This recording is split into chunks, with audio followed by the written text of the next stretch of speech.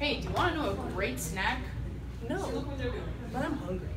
Well, you should try some pickles. Okay. Peaches? No, pickles. I'm sorry, Pickles? Pickles.